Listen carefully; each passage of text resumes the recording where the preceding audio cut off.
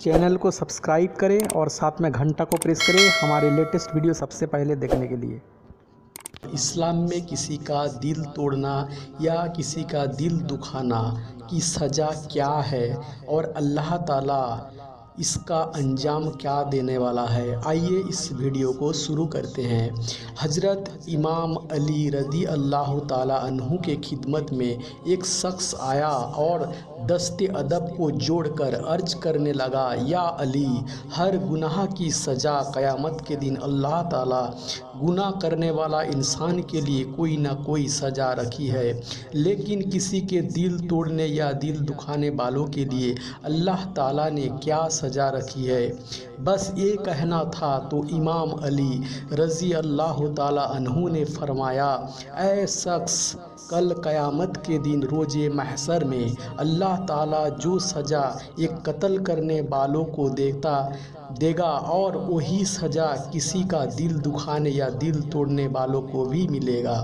तो उस शख्स ने कहा, या अली मुर्तजा, किसी का दिल तोड़ना और किसी का कत्ल करना दोनों की सज़ा बराबर वो क्यों? बात जब यहाँ तक पहुँची तो इमाम अली रज़ी अल्लाह अनहु ने फरमाया, ऐ शख्स, याद रखना, किसी को कत्ल करने से इंसान का जिस्म मर जाता है और किसी का दिल तोड़ने से इंसान की रूह को वो सदमा पहुँचता है, ना वो मर सकता है और ना जी सकता है।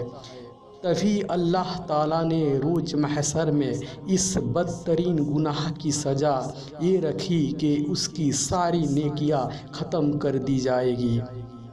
और उसके मुकद्दर में दोजक को लिख दिया जाएगा और ये कहा जाएगा, दुनियावी ज़िंदगी में बदतरीन गुनाह करने वालों, सुनो किसी का दिल तोड़ना, किसी के प्यार के साथ खिलवाड़ करने का अंजाम क्या होता है?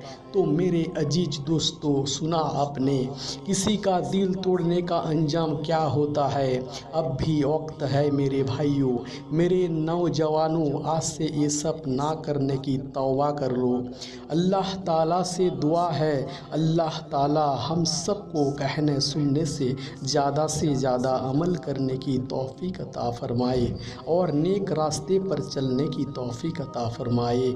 आमीन।